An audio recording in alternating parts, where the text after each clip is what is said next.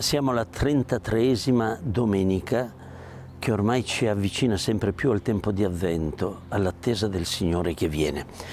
Non sempre le parabole che Gesù racconta sono come un liquore che si assaggia e si gusta, a volte le sue parole sono aspre, un qualche cosa come che disturbano, sono come pietre che lanciate feriscono a volte e non bisogna sempre aspettarsi che Gesù abbia queste parole dolci che acquietano, a volte scuotano, a volte feriscono. E questo Vangelo che parla dei talenti, che non c'entra ovviamente con l'economia, sono i talenti, cioè i doni che il Signore ti ha fatto, il Signore che ti ha messo davanti questo banchetto imbandito di cose buone, che sono la tua vita ultimamente e che tu devi in qualche modo sfruttare, devi mettere a disposizione.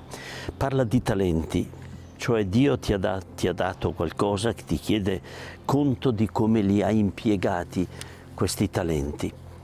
Noi molto spesso questi talenti non li investiamo bene, cioè non investiamo bene la nostra vita. L'imprenditorialità di cui Gesù accenna nella parabola dei talenti non è di tipo appunto economico, finanziario, ma di accoglienza del dono della salvezza. Dobbiamo capirli così la pagina del Vangelo. Ti chiede piuttosto che cosa ne hai fatto dell'incontro con Gesù iniziato con il battesimo.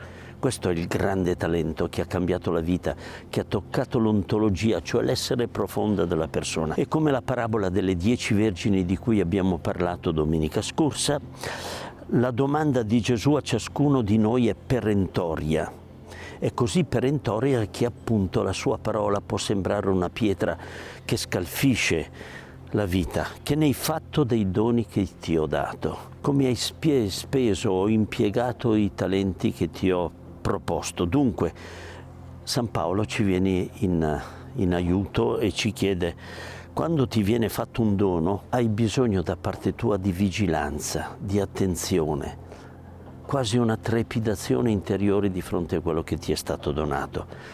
Non dormiamo dunque come se questi talenti il Signore non ce li avesse dati.